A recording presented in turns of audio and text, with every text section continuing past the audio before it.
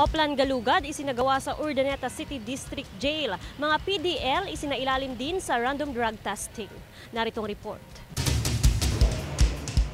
Sorpresang nagsagawa ng Oplan Galugad sa Urdaneta District Jail ang Bureau of Jail Management and Penology Region 1 para matiyak na walang kontrabando sa lugar. Habang nasa covered court ang mga persons deprived of liberty, ininspeksyon ang bawat locker, gamit, kama, at lahat ng sulok ng piitan katuwang ang isang sniffing dog. Titignan kung may mga gamit na ipinagbabawal sa piitan tulad ng patalim, droga, sigarilyo at iba pa. lahat ng uh, jail facility namin sa Region 1 na declare na drug free. So we make sure na wala pong droga talaga, illegal na droga sa piitan. So ginagawa namin to. Matapos ang operasyon, walang nakuhang anumang kontrabando sa loob ng piitan. Pabor ang mga PDL sa isinagawang Oplan Galugad. Opo, opo.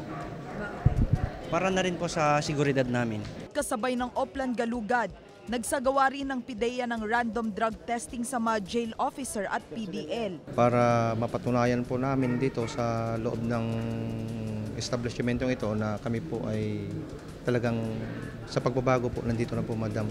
Patuloy ang isasagawang Operation Plan Galugad upang mapanatili sa pagiging drug cleared ang mga jail facility sa rehiyon.